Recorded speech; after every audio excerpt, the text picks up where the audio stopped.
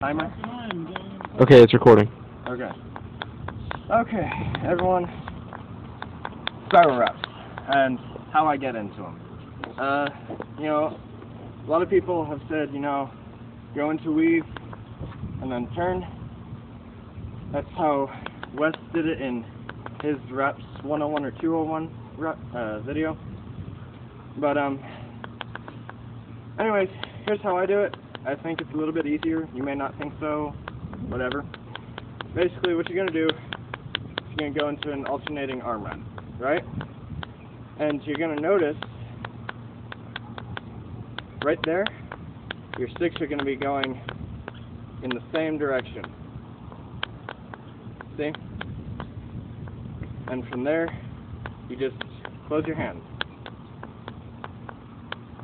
I'll do that a little bit more. Uh, alternating arm wraps. Check out Wes's video for that. When they're going the same direction, just wrap. And then from there, you can go, you know, armpit stall. You know, I'm not too good at string manipulations. Ask those people over there. um, spiral wraps, yeah. Okay, stop again.